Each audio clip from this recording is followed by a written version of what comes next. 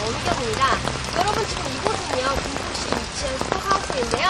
이곳은 시민들의 깨끗한 물을 안정적으로 공급하기 위해서 시설을 다할 뿐만 아니라 그 외에 특별한 무언가가 있다고 합니다.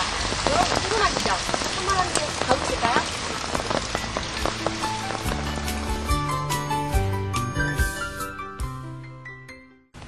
저와 함께 둘러보실 이곳 바로 물테마 박물관입니다.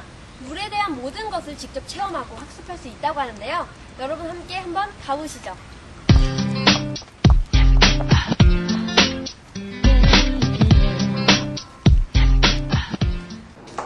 짠! 이곳은 물사랑방입니다. 물에 대한 간단한 상식과 그리고 물의 역사, 수돗물 생산 과정 등을 각종 모형과 영상을 통해서 우리의 눈을 즐겁게 해주는 공간이라고 합니다.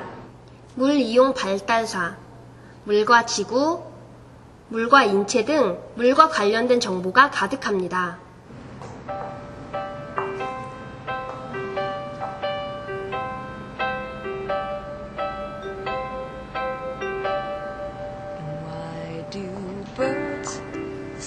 너무 아기자기해서요. 저의 시선을 확 사로잡는 것 같습니다.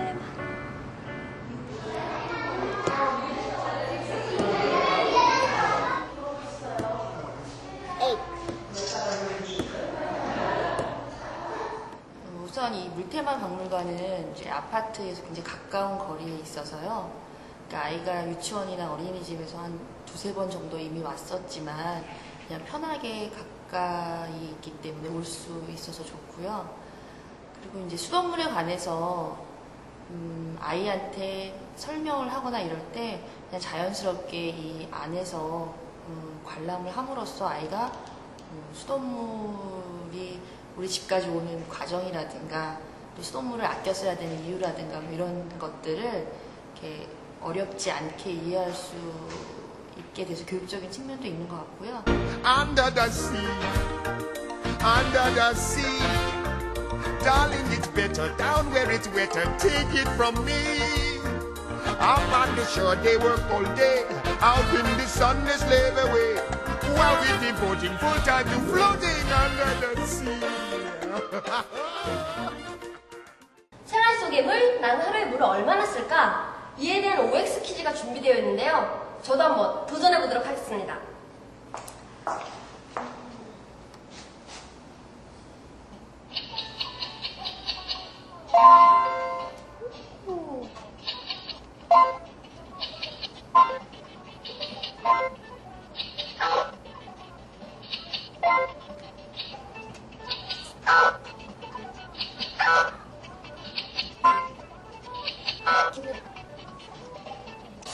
그래도 저는 굉장히 절약을 잘하고 있는 것 같습니다.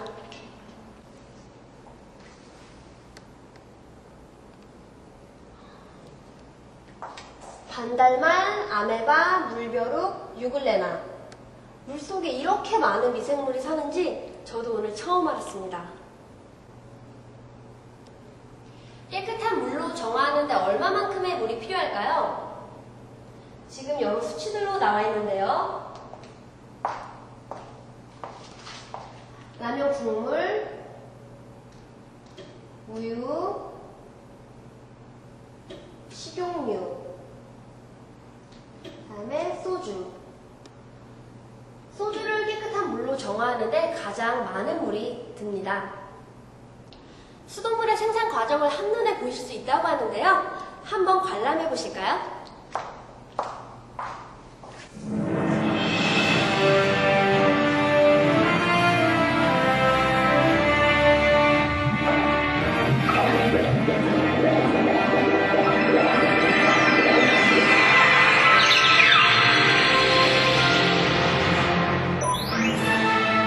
친구들 안녕?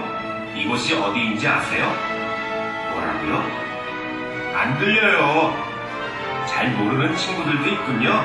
제가 알려드릴게요. 잘 기억하세요. 여기는 우리 친구들이 세수하고 마시는 맑고 깨끗한 수돗물을 만드는 군포시 정수장이에요. 깨끗한 수돗물을 어떻게 만드는지 궁금하다고요? 그럼 지금부터 맑고 깨끗한 수돗물이 만들어지는 과정을 살펴보기로 해요. 저를 따라오세요.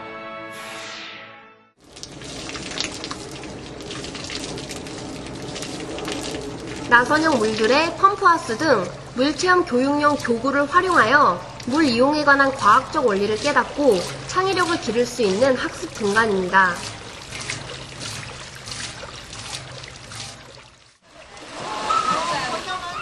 이곳은 물체험 마당입니다. 우리 조상들이 사용했던 자경루, 치구기, 무자위, 용두레, 우물, 물레방아 등을 설치해 놓은 곳인데요. 물에 관한 옛날 생활 풍습을 재현한 야외 공간입니다. 자, 이렇게 이렇게 이렇게 이렇게 물을 떠올리는 거야. 떠서 먹는 거야. 우리 그거 한번 해볼래? 우리 어, 물 퍼보자, 물 퍼보자. 떠보세요. 자, 우물에 물 뜨는 거야, 우물. 여기도 물 떠서 먹어. 이렇게 해서 옛날에는 물 수돗물이 없어서 이렇게 물 우물을 따서 이렇게 해서. 이야! 예, 여기 어, 테마 물 박물관에 오니까 아이들하고 오니까 너무 즐겁고요. 어, 물이 어떻게 해서 우리한테까지 오는지 아이들이 자세히 볼 수 있어서 좋았어요. 그리고 실내에 마련되어 있는 어, 여러 가지 옛날에 사용했던 것들을 보니까 굉장히 재밌고 유익했어요.